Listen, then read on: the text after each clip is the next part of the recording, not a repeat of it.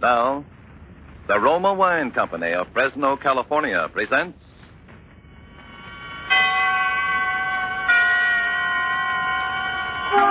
Suspense.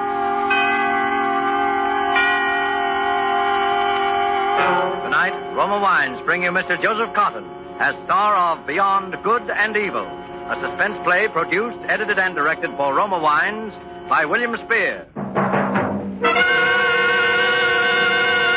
Suspense, radio's outstanding theater of thrills, is presented for your enjoyment by Roma Wines. That's R O M A, Roma Wines. Those excellent California wines that can add so much pleasantness to the way you live, to your happiness in entertaining guests, to your enjoyment of everyday meals. Yes, right now a glassful would be very pleasant. As Roma Wines bring you Mr. Joseph Cotten in Beyond Good and Evil by Ben Hecht and Douglas Whitney in a remarkable tale of suspense.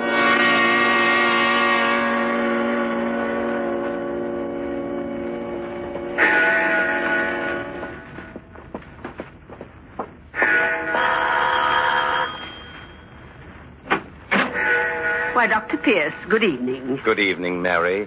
Is Dr. McKillop still awake? Oh, yes. We don't put him to bed until eight or later. Is evening service over already? A shame, Mary. A parson's housekeeper, and you forget we don't hold service on Wednesdays? Why, it slipped my mind it was Wednesday, sir. Of course, you've come to read to Dr. McKillop. He'll be so pleased. There's so little I can do. If he were able to let us know in some way. I can tell by his eyes, sir. Whenever you're here, they, they fairly glow. Well, I suppose that helpless as he is, not able to speak or even write, my visits are at least a diversion. You? You're more than a diversion, sir. You're his, his hope, if I may say so. No, Mary. The Lord is his hope. Oh, yes, sir.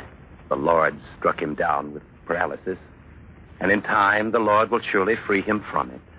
Where is the doctor? In his study, sir. We leave him there until bedtime. Very well. I'll go in for an hour or so. Stay as long as you like, Dr. Pierce. We won't disturb you. Uh, Dr. McKillop, it's Dr. Pierce come to read to you. Good evening, Dr. McKillop. Good evening, good evening, good evening, good evening. Ah, you're a most satisfying companion, McKillop. You hang on my every word and you never talk back, never but once. And after tonight, you won't get the chance. So speak up, Doctor. Why don't you? No. Oh, of course, the cat's got your tongue. well, I'll turn up the lights a bit so I can at least bask in your baleful stare. There. That's better, much better. Yes, tonight is your last chance, McKillop. Tonight is the consummation, the grand finale, the end, the Act Three curtain on a great play about death, redemption, about good and evil. And I won't shrink from your eyes tonight, McKillop. Your eyes can't kill, but I can kill. I have the mind and the will and the hand. I've killed one man that you know. And tonight, I'm going to kill again.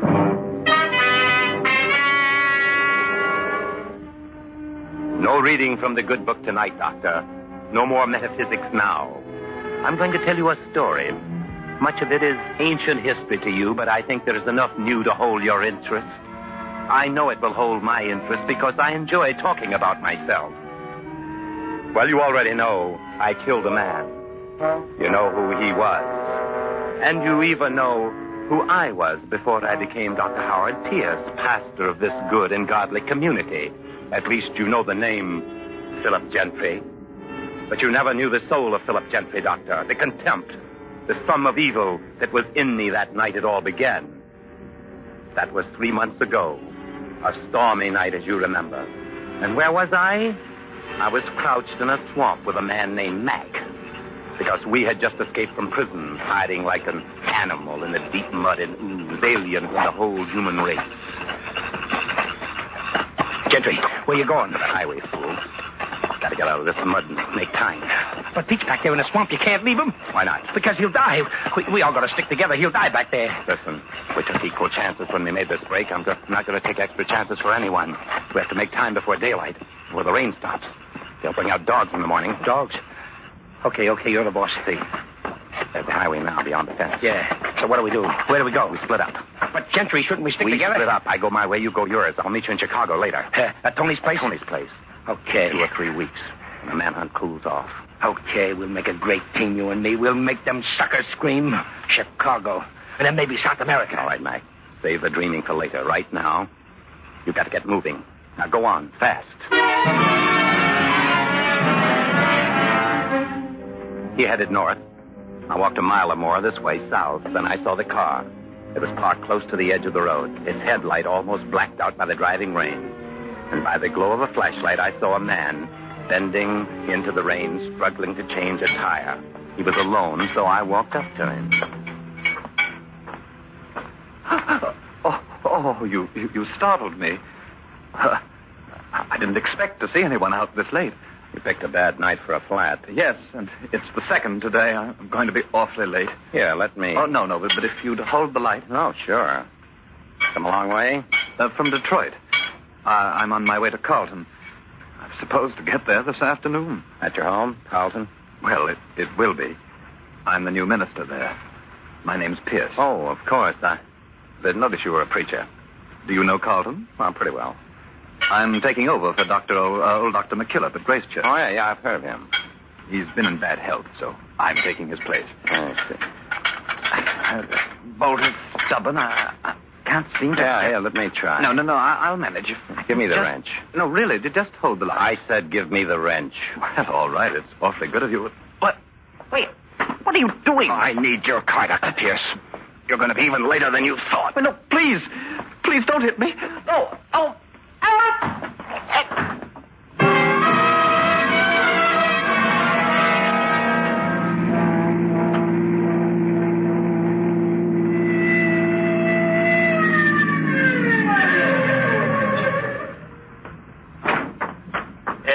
See your license, buddy. Huh? Uh, my, my license. Oh. Oh. Oh, yes, I. Oh, I have it here. Here, here, here it is. Hmm? Uh, Howard Pierce, occupation. Oh, a minister. I, I didn't notice. Yes, but, uh, well, what is it? Was I speeding? No, we're checking all cars on this road. There's a bad break at the state pen. Yeah. Three men. They might come this way. Say. But I, I won't hold you any longer, Reverend. Going far? Well, to, uh, uh Carlton. Oh, now I get it. Imagine me not catching on right away. Catching on? Sure, you must be the new preacher for Grace Church. You're taking Dr. McKillop's place. Why, yes, I, I am. Uh, you're going to parsonage now? I was going, well, but well, I... I'm going into I headquarters now, and Well- I have to go right by Dr. McKillop's house. You you follow me. Oh, I, I couldn't. Oh, but it's not out of my way at all. Not more than a block. I'll go slow so you can't lose me, okay? Oh, all right. Well, that's the ticket. Really tickle old Dr. McKillop to have you delivered right to his door. Say, I bet you never counted on this kind of reception in Carlton, Reverend Pierce. now, did you? No, uh, I certainly didn't. My son.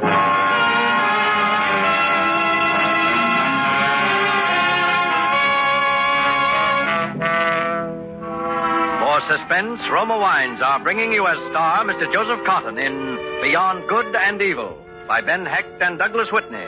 Roma Wines' presentation tonight in radio's outstanding theater of thrills, Suspense.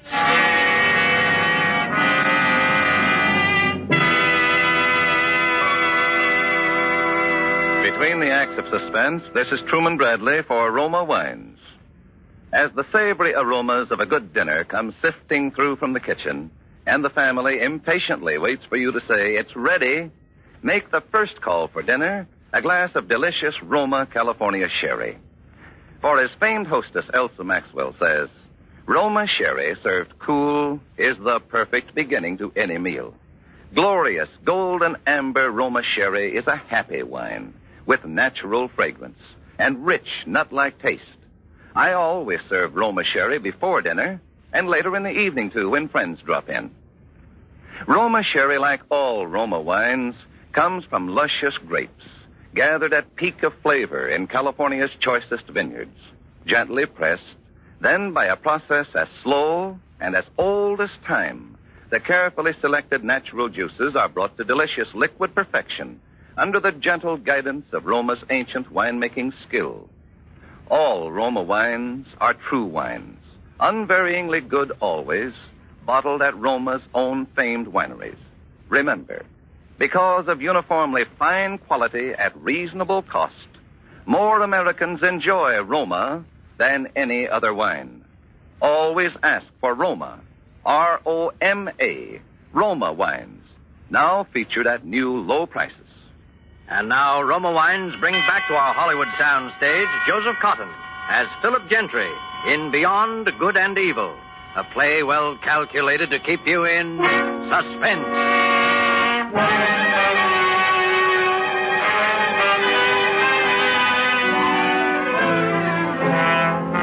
that was it. My arrival in your dull, pleasant town of Carlton, remember?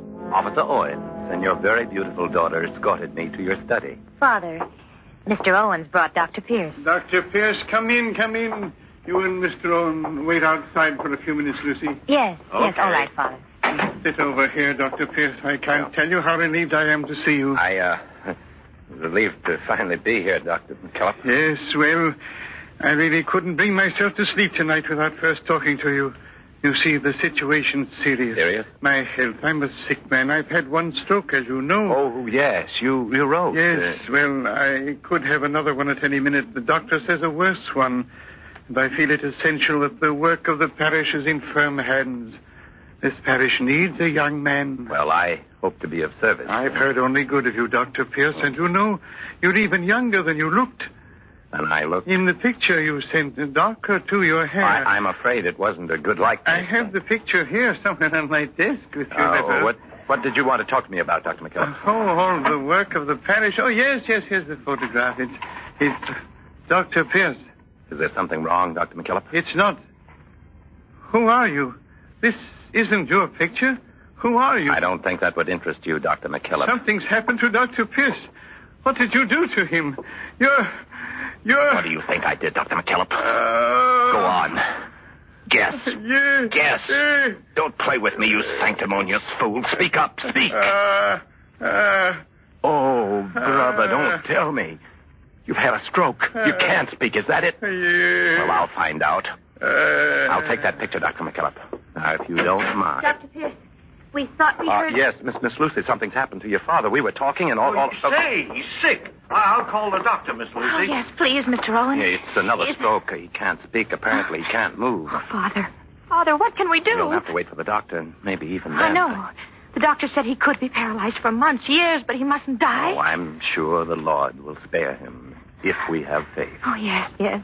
Look, he can hear us, see his eyes. I see. It's a blessing you got here tonight, Dr. Pierce. A blessing. You are going to stay. Well, I, Oh, I. But you must. Well, I wasn't sure, but since this has happened to your father, yes, I'll stay. I hope I prove worthy.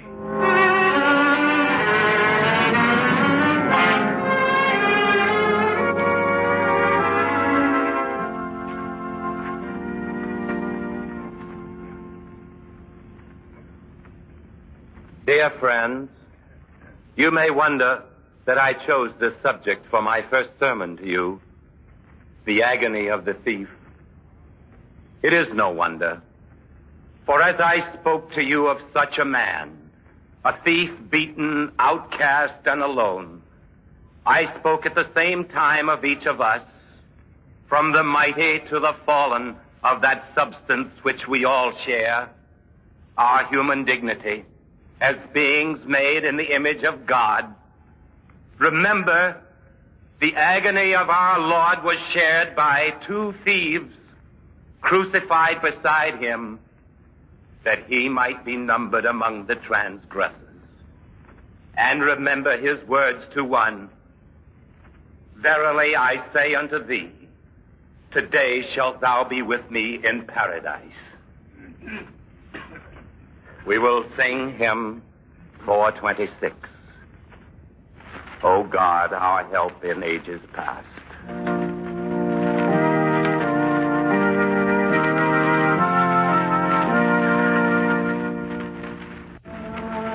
My first sermon, Dr. McKillop, it was duck soup for me. You couldn't understand how such a thing could be done without faith.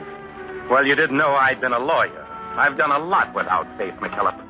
It doesn't take such a holy man to care for your sheep. From the first day until now, I've I've been the ideal parson. Even the day I got that call from young Hubbard, yes. I played the part. Oh, oh, I, I forgot. This, this is all news to you. You, did, you didn't know about that, about the conversation I had with young Hubbard in the study in the church. Dr. Pierce? Yes? I, uh, I missed your first service Sunday, Doctor. Oh. I thought I'd pay you a call. I'm glad you did. Sit down. Oh, thank you. Uh, my name's Hubbard. I work at the bank, First National. I'm the chief teller. Well, that's a very responsible job for a young man. Oh, I don't know. I suppose it is, but I don't have much more responsibility than the other fellows, except at the end of the month. Then it's a strain. The end of the month? Oh, sure. Well, that's when I, I uh, well, you, you know, I've never told anyone about this. So Oh, even well, if, it, if it's confidential, Mr. Oh, naturally, not so far as you're concerned, Dr. Pierce. You see, the 30th of the month, we move all our deposits to the Federal Reserve Bank. uh Uh-huh. $50,000 or more. Oh. Well, you can see I wouldn't want some people to know that. You uh, mean you take the deposits uh, uh, alone? Oh, no, that'd be even worse than it is. Uh, there's an armored truck comes to take the money, comes by around 9.30 at night. But I'm alone on the bank until it gets there. Hmm. Sometimes when I'm sitting there at my desk, I think how easy it would be. Hmm. All someone would have to do is shoot me through the glass door. Uh, see what I mean?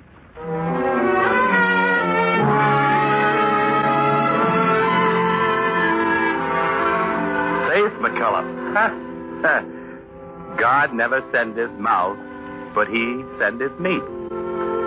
Out of all this community's 35,000 souls, Hubbard chose me to share his secrets. I sent a letter that night to Mac, care of Tony's in Chicago.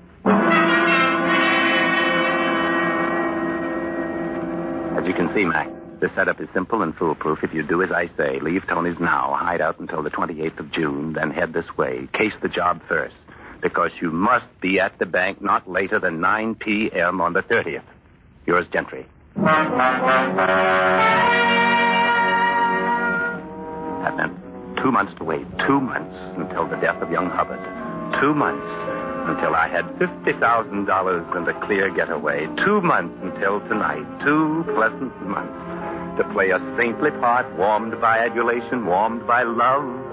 Because even you could see what was happening to your daughter, your very beautiful daughter, Lucy.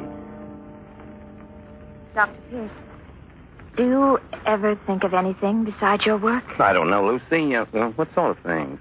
Well, do you ever think of yourself, of a full life for yourself? Why, of course. Uh, that's why I work. My work gives me a full life. You don't know what I mean. Yes, I think I do. You see, I have to tell you, even if you don't want to hear. Lucy, my dear. I have to tell you that that I love you, Howard. I know I can't expect that to mean much to you. It uh, it means a great deal. Not enough. Lucy, dear, you told me once that you were engaged to someone. Yes, I, I'm supposed to be.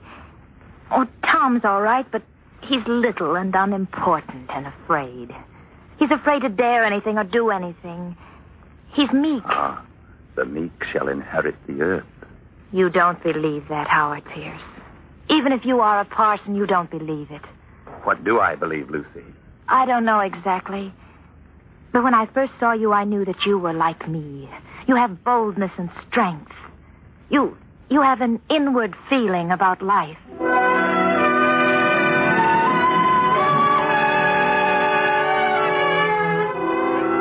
Let it ride. Wasn't any harm in that, Doctor, so far as I could see. Lucy was a great help, blinded by what she called love. And what did I feel? Love? Doctor, a man who has mastered the use of words as I have no longer knows what they mean, but only what they do. With Lucy, so long as the word love so served me, I used it. After a while, it became a source of danger. That was last week, Wednesday, when I came the evening to read to you. Howard. Howard, the most wonderful news. Guess. How can I guess? Don't you know? The most wonderful thing that could ever happen No, to no. us. What's that, Lucy? Well, I never breathed a word to Father about us because you asked me not to. Howard. Not until he can talk to us and give his blessing. Lucy, you didn't. Oh, no, not yet. But the doctor was here today, and he told me Father will speak again soon, any day now. No, no. He doesn't know why he hasn't already. Isn't that wonderful? Uh, yes, yes, it is. Uh, How- Howard, what, what's the matter? uh, nothing's the matter. Well, but there is. I can well, see um, sit down, Lucy. All right, Howard. I was going to tell you before, my dear. You see, well, I can't marry you, not ever. You, Uh, you can't. Please, uh, you, you mustn't ask me why. It doesn't matter why. Do you understand? Because you don't love me. If you have to believe that, all right. Only you must go on and live your life as, as though you'd never met me. As though I'd never met you. Yes. Do you know what that means? Whatever it means. It means I'll marry Tom. It means I'll have a little, quiet, secure life. Best life for you, Lucy. Tom. Tom in place of you. Well, maybe you're right. I won't ever have great happiness with him, but after this, I'll never have a greater unhappiness. Mustn't be bitter, Lucy. If you hadn't known me, you would have married your Tom, and yes, you would have loved him. All right. I will marry him. I'll marry him this week in church. And you'll perform the service, Howard. You'll be the one to make me Mrs. Tom Hubbard. Who did you say? Tom Hubbard. I'll be a banker's wife. I. I never knew his name before. Well, no, no matter what you think, Lucy, I'm sure you'll be happy.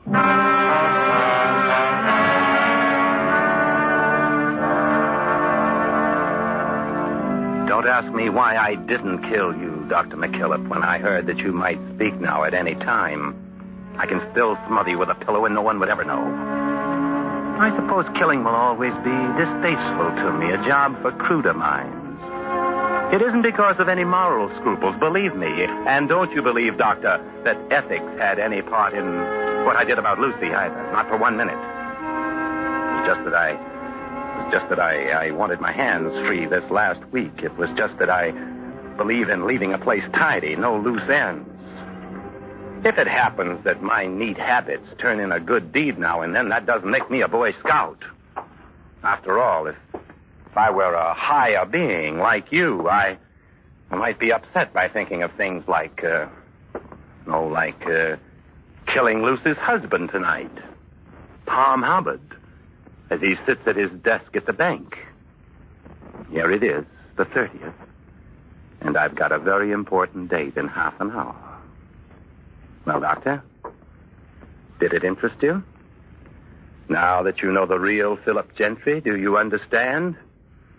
I doubt it.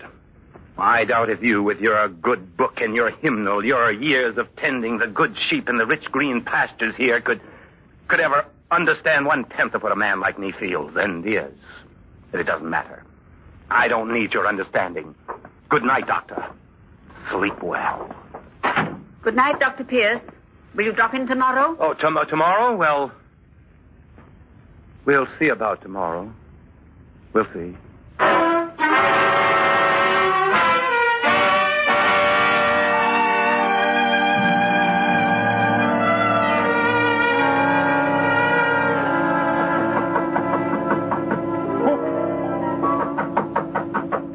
Who, who- who is it? It's Dr. Pierce, Tom. Let me in. Oh, Dr. Pierce. Yeah. Just a minute. I, I wanted to make sure. You see, this is the night when the truck is. Yes, I, I remembered. That's how I knew where to find you. Oh, Do you want something? Lucy's feeling sick. I came to send you home. Lucy? Yeah. Oh, but I can't. I have to stay. I can stay for you. Gee, I, I don't know. I'm supposed to stay until. Lucy is calling for you, Tom. She's really sick? Well, all right. I guess with you here, it'll be all right. Just tell me what to do. Well, that's the money already in those sacks. Yes. And I sit here. Uh, yes, right at this desk. Uh, Gee, I, I don't know what the directors will think. now run along, Tom. They'll never know. Even if someone walks by from the outside, they'll never know if it's you or me sitting here.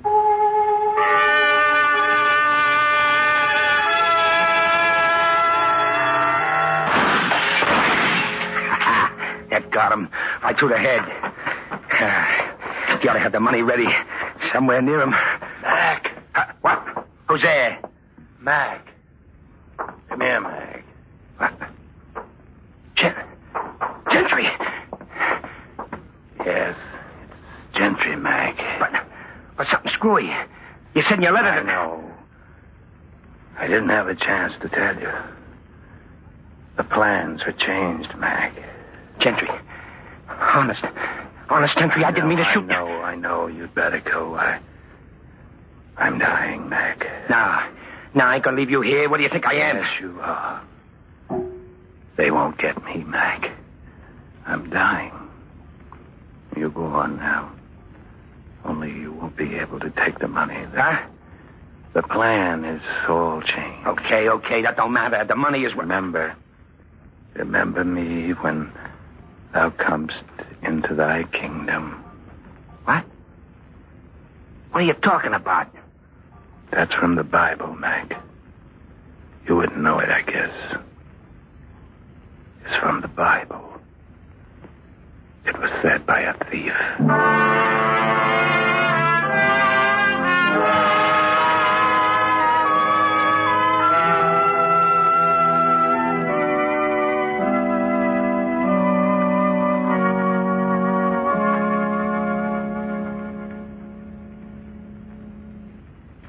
This, dear friends, was the man Philip Gentry, or Dr. Pierce, or what other name he may choose in eternity. The man whom we bury today. That night when he stood above my bed, pouring defiance and bitterness into my ears, thinking that I was paralyzed, I could both speak and write. My paralysis had been gone for many days, but I did not speak because I knew what Philip Gentry would do, what he had to do. I knew what he denied, that to accomplish work as he had in God's vineyard, a man must have faith, even though he deny that faith. That is why, in spite of all, he protected my daughter's happiness. That is why he could not kill me. For the work he did here had molded him, in spite of himself, into a man who was truly a servant of God. To such a man our Lord would say, Verily, I say unto you, today shalt thou be with me in paradise.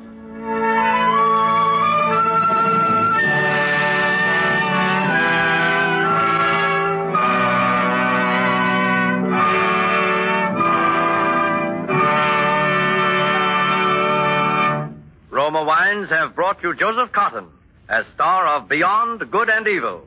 Tonight's study in suspense. This is Truman Bradley for Roma Wines, the sponsor of Suspense. Autumn makes me think of ducks on the wing, says famed hostess Elsa Maxwell, and ducks make me think of Roma, California Burgundy. Roma Burgundy because it's a robust wine for a robust time of the year. So delicious with the savory foods of fall, ducks, stew, beef, or spaghetti. I find Roma Burgundy served cool makes food so much more enjoyable. Try Roma Burgundy with dinner tomorrow. You'll enjoy the tart piquancy and fruity taste of this vintner's masterpiece. Yes, like all Roma wines, this is wine at its best in uniform quality. For Manhattan Magic or a perfect martini, use Roma Vermouth, the better vermouth that makes better cocktails. Made and bottled in sunny California. Enjoy Roma wines of fine quality every day. Now featured at new low prices by leading wine merchants everywhere. Joseph Cotten appeared through the courtesy of David O. Selznick, producer of Alfred Hitchcock's Spellbound. Next Thursday, you will hear Mr. Henry Fonda as star of Suspense, radio's outstanding theater of thrills. Presented by Roma Wines, R O M A, made in California for enjoyment throughout the world.